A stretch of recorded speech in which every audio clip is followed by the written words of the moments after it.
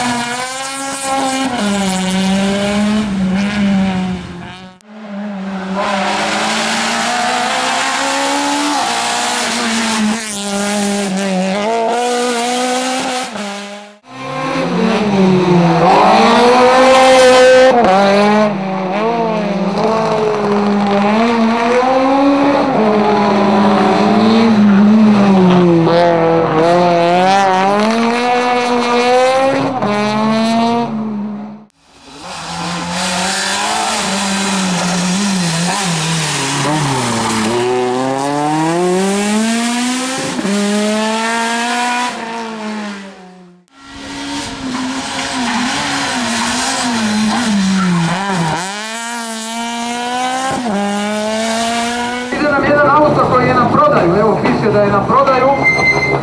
Startni broj 33. Mađarska. Auto je na prodaju. Znači sezona je pri kraju, to istrese nešto novčića, najvjerojatnije eure. Može sjesti i voziti ovaj dobar...